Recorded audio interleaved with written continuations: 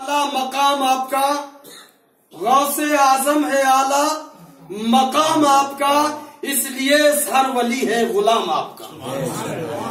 اور آپ بازار طیبہ میں جب ہے بکے آپ بازار طیبہ میں جب ہے بکے پھر کوئی کیا لگائے گا دام آپ کا؟ محترم سامعین اکرام، وہ غوث اعظم ہے کہ حضور سرکار غوث اعظم اپنی ماں کے شکم سے پیدا ہو رہے ہیں۔ پیدا ہونے کے بعد ابھی آپ کے بچپن کا زمانہ ہے۔ آپ چھوٹے سے ہیں، آپ ننھے سے ہیں، لیکن آپ سے صفتیں ظاہر ہو رہی ہیں۔ آپ اپنی ماں کی شکم میں ہیں، پھر بھی آپ سے صفت ظاہر ہوتی ہے۔ اور جب آپ دنیا کے اندر تشریف لاتے ہیں پھر آپ سے صفت ظاہر ہونا شروع ہو جاتی ہے۔ آپ غوث اعظم کی شخصیت، ایسی مقدس شخصیت ہے کہ آپ اپنی ماں کے آغوش میں ہیں، آپ اپنی ماں کی گود میں ہیں اور دودھ پیتے پیتے آپ کے بچپن کا زمانہ، دودھ پیتے پیتے آپ غائب ہو جایا کرتے۔ آپ کی امی جان آگے دیکھا کرتی، پیچھے دیکھا کرتی، دائیں دیکھا کرتی۔ بائیں دیکھا کرتی کسی طرف سرکار عبد القادر نظر نہیں۔ ایک ایک، آپ کی نظر جب آسمان کی جانب اٹھتی ہے، تو کیا دیکھتی ہے کہ میرا بیٹا عبد القادر میری گود میں، میرے پگھوڑے میں، میری آنچل سے دودھ پیتے پیتے غائب ہو جایا کرتا ہے اور جا کر کے آسمانوں میں چھپ جاتا جب سرکار غوث اعظم بڑے ہوئے جوان ہوئے تو آپ کی امی جان ارشاد فرماتی ہے۔ اے بیٹا عبد القادر جب تم چھوٹے سے تھے، جب تم ننے سے تھے، جب تمہارے بچپن کا زمانہ تھا، تب تم میری آنچل سے، میری گود سے آسمان کی طرف پرواز کر دیا کر جایا کرتے تھے اور جا کر کے آسمانوں میں چھپ جاتے تھے۔ اے عبد القادر اب تو تو بڑا ہو چکا ہے، اب تو تو جوان ہو چکا ہے، اب تیرا کیا علم ہے؟ سرکار غوث اعظم اس بد جو ہے نوجوانی کے عالم میں اپنی اما امی جان سے عرض کرتے ہیں، اے امی جان جب میں چھوٹا سا تھا جب میں ننا سا تھا جب میرے بچپن کا زمانہ تھا تب میں آپ کی آنچل سے آپ کی گود سے دودھ پیتے پیتے اڑ جایا کرتا تھا۔ آسمانوں کی طرف اور آسمانوں میں چھپ جایا کرتا تھا۔ آج یہ وہی عبد القادر ہے کہ ساتوں آسمان عبد القادر کے دامن میں سما جائے تو عبد القادر کا دامن ٹنگ نہیں ہو سکتا۔ سبحان اللہ۔ نہ مانو گے تو مٹ جاؤ گے ہندی مسلمانوں۔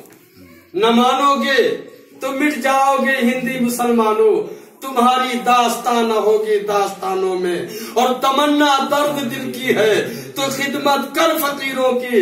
تمنا درد دل کی ہے تو خدمت کر فقیروں کی نہیں ملتا ہے۔ گوہر بادشاہوں کے خزینوں سے۔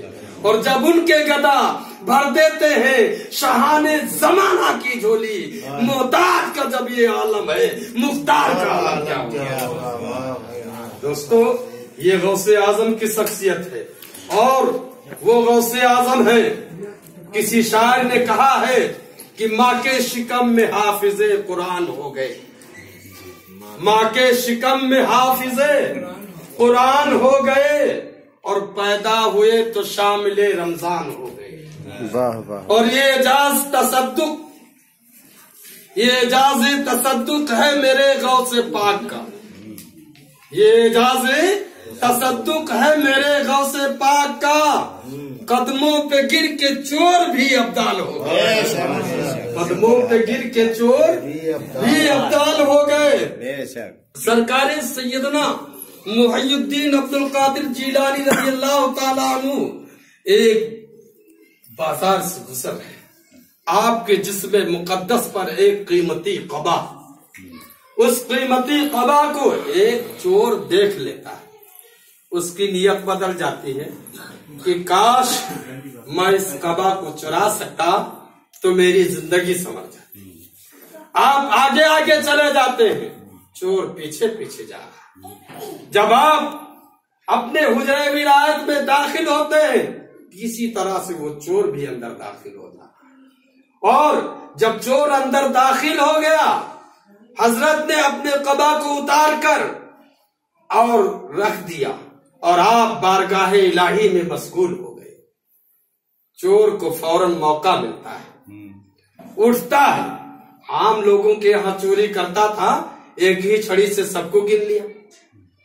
سرکار غوث اعظم کے قبے کو اٹھا کر اور بغل میں دبا کر اب دروازہ تلاش کرنے لگا۔ اندھیری کوٹری ہے، دروازہ نہیں مل پا رہا ہے۔ چور دیوار پر ہاتھ مار مار کر دروازہ تلاش کر رہا ہے۔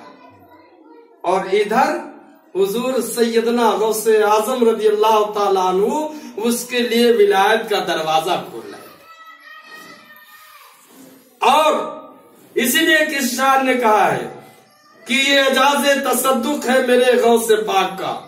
قدموں پہ گر کے چور بھی ابدال ہو گئے۔ اتنی ہی دیر میں ایک علاقے کا ابدال وصال کر گیا تھا۔ اس علاقے کے لیے حضرت سیدنا خضر علیہ السلام والسلام ابدال لینے کے لیے حضور سرکار غوث اعظم کی بارگاہ میں حاصل ہوئے۔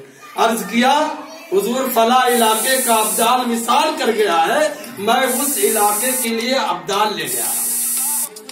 چور اندر چھپا بیٹھا۔